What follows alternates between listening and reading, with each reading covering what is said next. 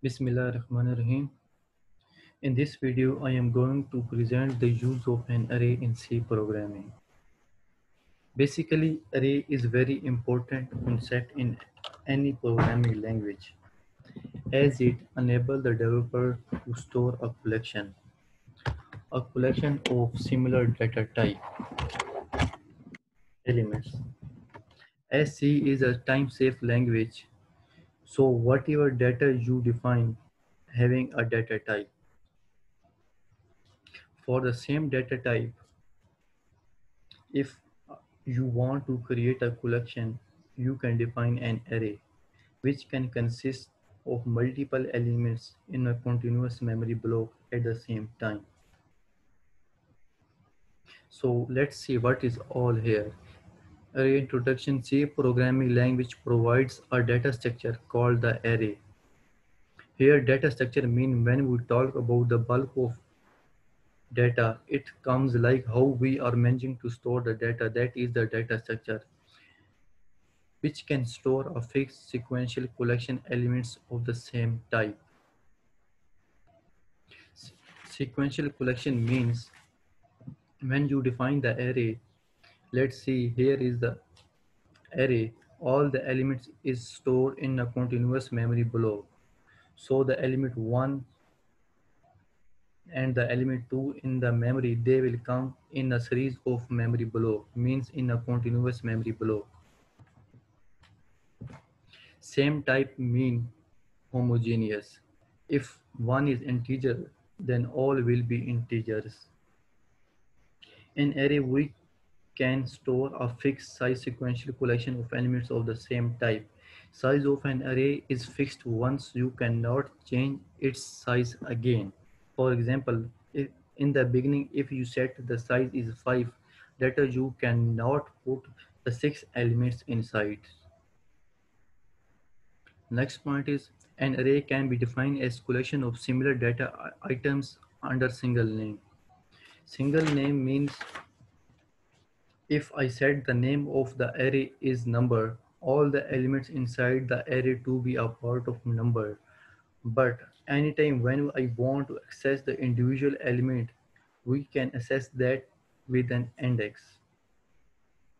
Here you can see under the square bracket, bracket we can pass some numbers, which is nothing but one index, but index. Whenever I talk about index, it will begin with always zero. Means the first element of the array will be zero index. Like one, two, three, and so on. So this is how we store elements in array. Integer type array holds the element of integer type float types array hold the elements of float types. This is some points. All the array consists of continuous memory location. The lowest address corresponds to the first element and the highest address corresponds to the last element.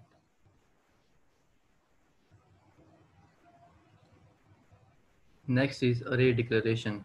To declare array in C, a programmer specifies the type of the array element and the number of elements required by an array. Syntax of array is first we declare, we choose data type, then we declare array name and array size. Here is its example. Double is the data type, balance is the array name and 10 is its size. Next is array types array has three types. First dimensional array, two-dimensional array, and multi-dimensional dimensional array. Next is, here is my program which I made to display truth table using array or nested for loop. I can also show you this program on dev software.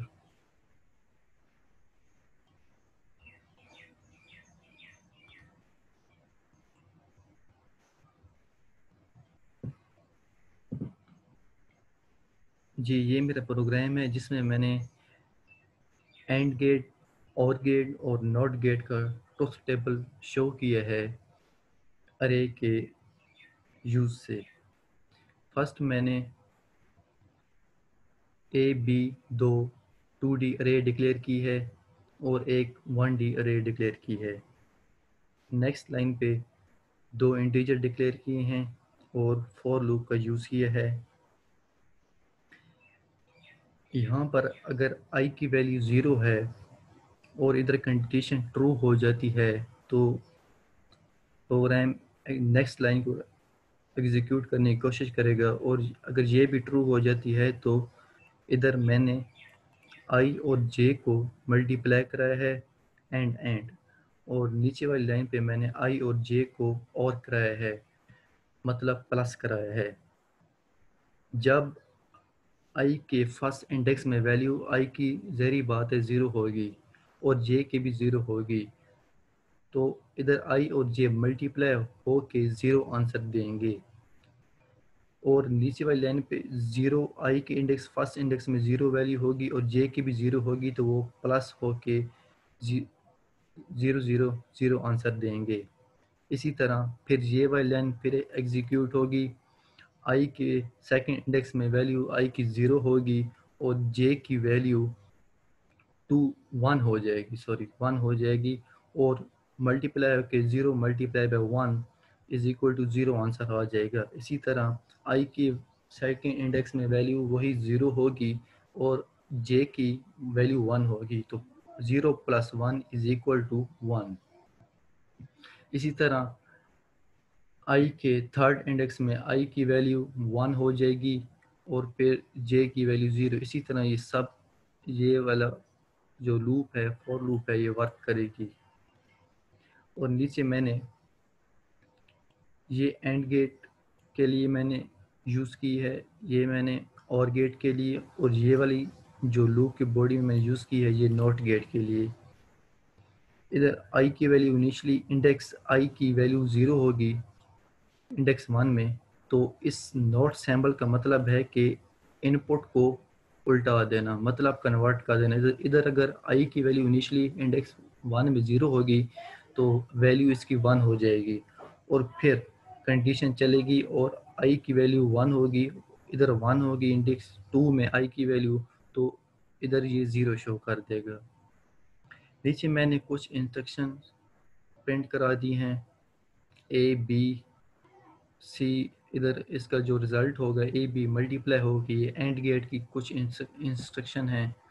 नीचे मैंने print करा दिया है percent D percent D ये वाली जो percent D की values होंगी ए के नीचे, और ये वाली बी के नीचे होंगी, और जो इनका ये रिज़ल्ट होगा, वो इस परसेंट डी का होगा। आई जे और ये वाली जो वैल्यूज़ हैं, मैंने इधर प्रिंट करा दी हैं, जो कि यहाँ पे फॉर लूप में ट्रू हो के कंडीशन बनेगी मल्टीप्लाई होंगी आपस में वो मैंने वैल्यूज़ यहाँ पे एक किस्म की कॉल उन्होंने कर दी है मैंने उन्हें प्रिंट करा दिया है।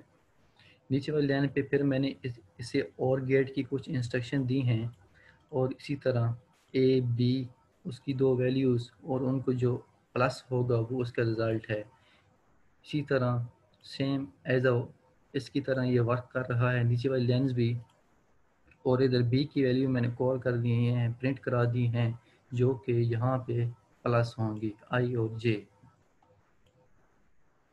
नीचे फिर मैंने प्रिंट एफ़ की मदद से नोट गेट की कुछ इंस्ट्रक्शन दे दी हैं, जो कि प्रिंट हो जाएँगी और नीचे फिर इसकी वैल्यूज़ जो हमें कन्वर्ट करके मिलेंगी इंडेक्स वन में जो भी वैल्यू होगी इंडेक्स टू में आई के ज़ीरो वन और वन ज़ीरो हो जाएगा। तो वो उसकी जो मैंने उसे कॉल कर दिया है यहाँ पे किस्म का प्रिंट करा दिया है। इसी तरह मैं आपको ये आउटपुट भी दिखा देता हूँ।